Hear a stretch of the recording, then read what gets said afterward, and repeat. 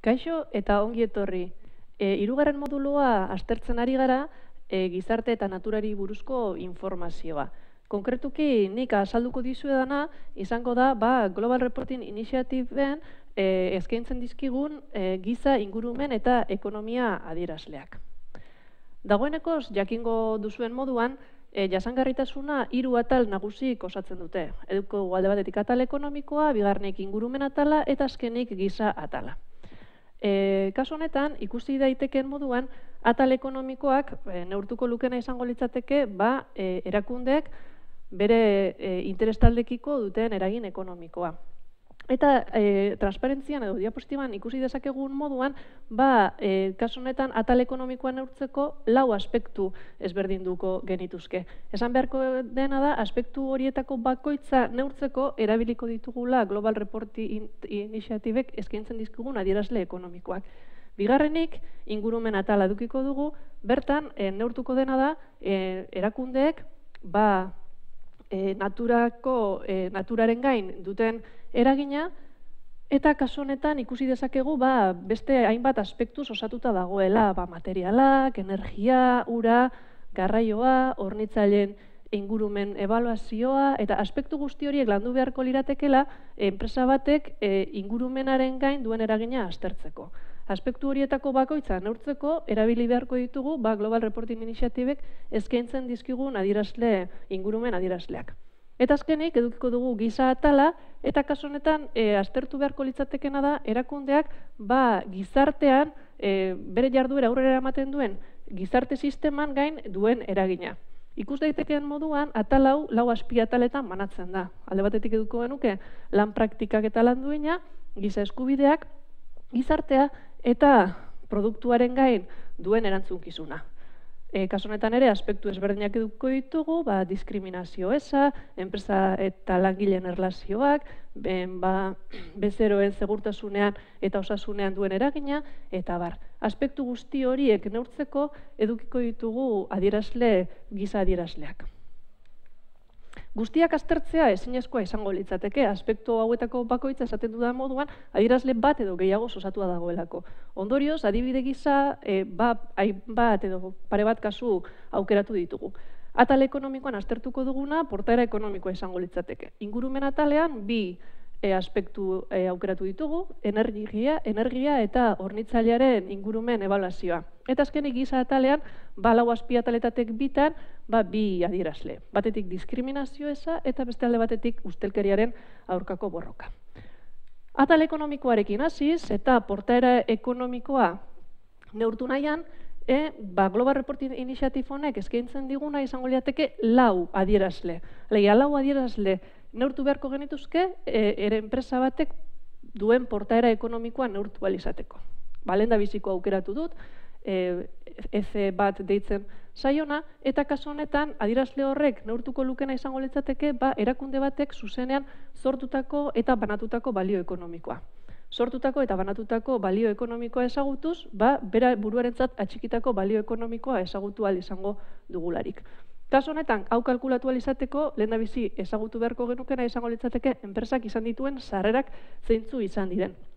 Eta, gero, bestalde batetik, gastuak.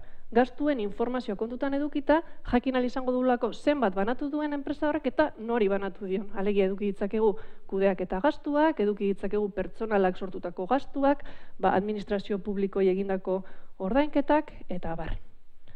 E, energia, bueno, ingurumen atalera pasata, hemen aipatu dudan bezala, bi e, adierazle aztertuko ditugu, energiaren adierazlea batetik, eta ikusten dugu, ba, kasunetan, energiaren aspektua aztertualizateko, bost adierazle neurtu beharko genituzkela. Bueno, ba, kasunetan ere, lehen bizikoa aukeratu dut, eta lehen biziko honek, adieraziko ligukena izango litzateke, erakundeak bere barnean kontsumitzen duen energiako purua zein izango litzateke.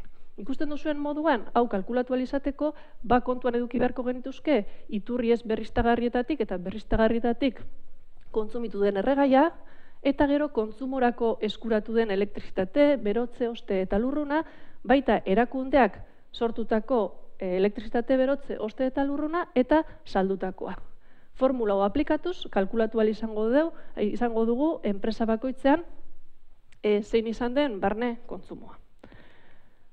Ingurumenarekin erlazionatutako bigarren aspektua, hornitzaileen ingurumen evaluazioa izango litzateke, eta kaso honetan ikusi du, ikusten dugun moduan bi adierazlek osatuko lukete.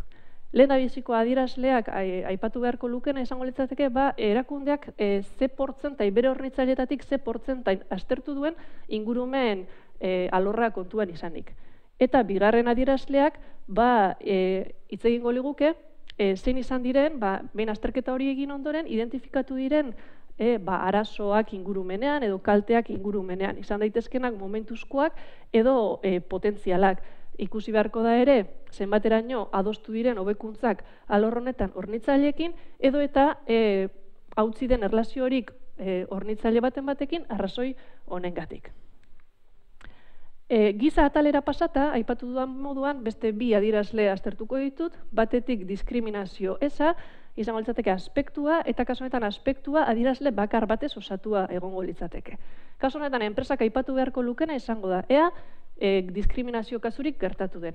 Eta bigarrenean, gertatu diren diskriminazio kasu horien momentuko egoera zein den. Alegia, ea kasua aztertuta dagoen edo ez, ea zuzenkleta planik planteatu den edo ez, ea plana ezarri emaitzak aztertu eta ebaluatu diren, eta ea dagoenekoz diskriminazio kasu hori gaindituta dagoen. Azkenik, giza adierazleen artean, ustelkeriaren aurkako borroka egongo litzateke, eta kasunetan hiru adierazlek osatzen dute.